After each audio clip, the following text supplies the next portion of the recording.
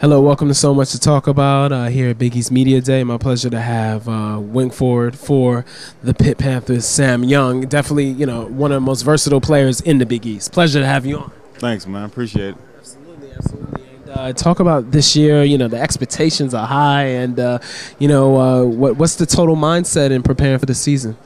Uh, we right now we uh number three. I mean, some polls they got us ranked number three. And young guys, they get in there and they acting all crazy. Some of we number three, we number three, and trying to tell them, calm down, man, calm down. We we, we got to prove that. So, I mean, we was we was predicted to go Final Four last year and we didn't go. So that was like where a couple.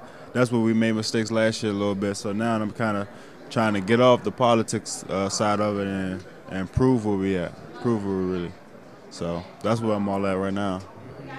This Big East conference is so tough, and talk about you know how gratifying was it to win that Big East conference tournament last year. We have Levance Fields. He's one of the he's uh, got one of the best assist turnover ratios, and then we got DeJuan Blair. He uh, almost averaged a double double last year, and then I averaged 18 points a game last year, and we still we still consider we still possibly or arguably number the top three in the conference. We're not even one, so that tells you how strong our conference really is.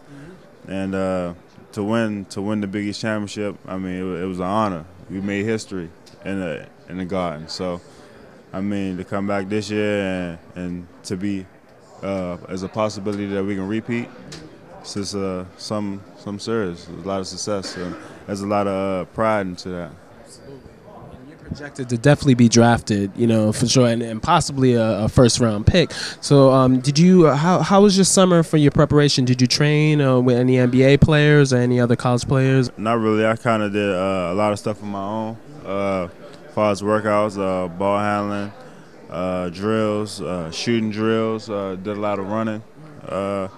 this trying to look at old tapes and see what mistakes I made, what mistakes I made, and what can I have done better to prevent those mistakes and stuff like that.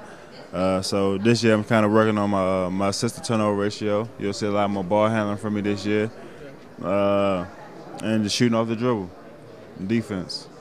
So that's like the main things I'm working on this year. And I think that's where uh, that's where you're gonna see changes in my game.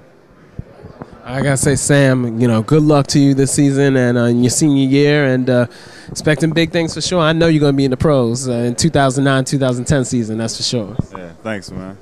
Pleasure to have you on. Appreciate it. Appreciate it.